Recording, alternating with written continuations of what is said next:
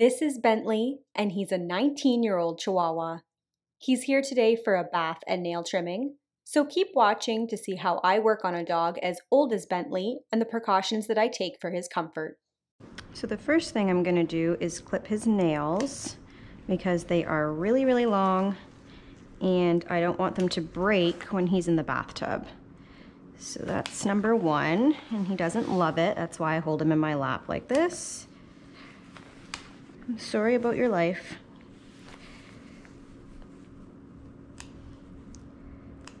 Good boy. Good boy.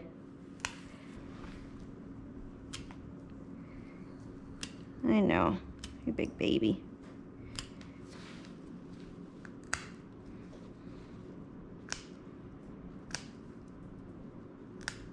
Okay, now we can go for a bath. Okay, so I'm gonna put him into the baby tub because that's the easiest way to bathe this old man. Good boy. Good boy, Mr. Bentley.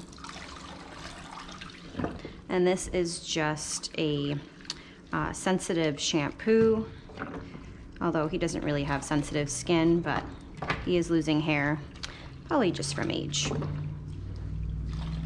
Bentley has been coming to me for a very long time. He was adopted and he was kind of old when they got him. So he is ancient, but he's doing really well. His tongue sticks out of his mouth like this because he doesn't have any teeth. It kind of reminds me of like a really decrepit sloth. I swear to God, he like doesn't even doesn't even have like a bottom jaw anymore. What happened to your jaw? Where did it go, Bentley? What? I know. Okay. And then I'm just going to wash his face in a tearless shampoo because this one is not tearless. Come here, buddy.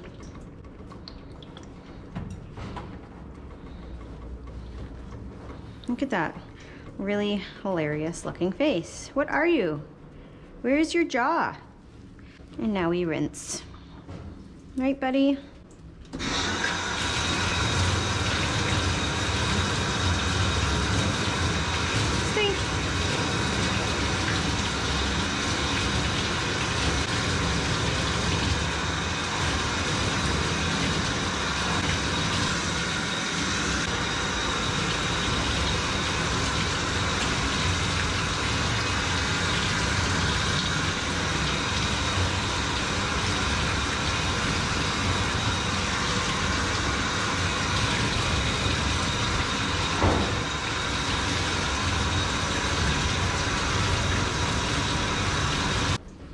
down, get down. I'm gonna do your face first.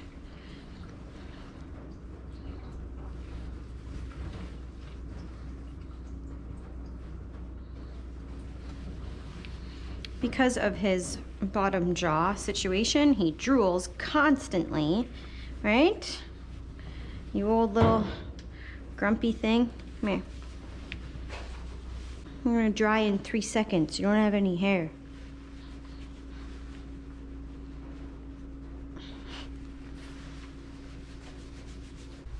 Don't fall over, mister. Here. I'm just gonna put this down for him because he is old and he might slip. And of course, put the happy hoodie on him.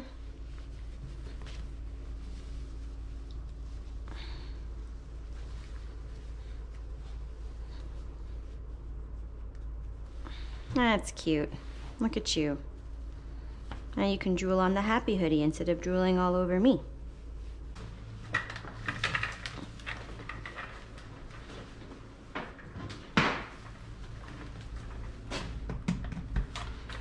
Come here, buddy.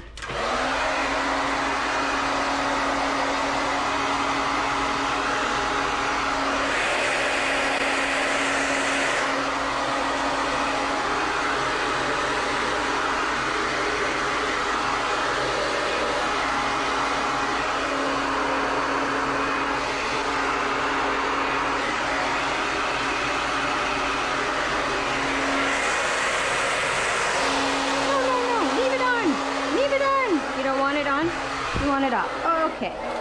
Since when do you do that? Okay, here. If you don't want it. Fine.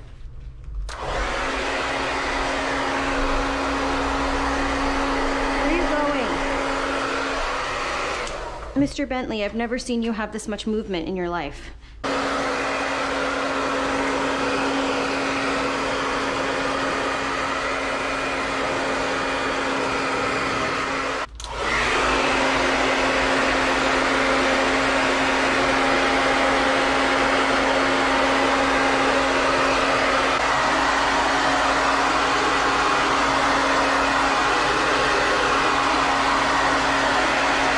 I highly doubt that he is shedding today, but let's see.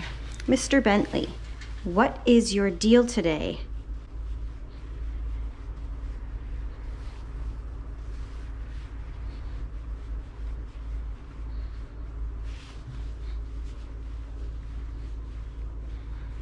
Yeah, there is basically absolutely nothing coming off of him. He's not shedding today.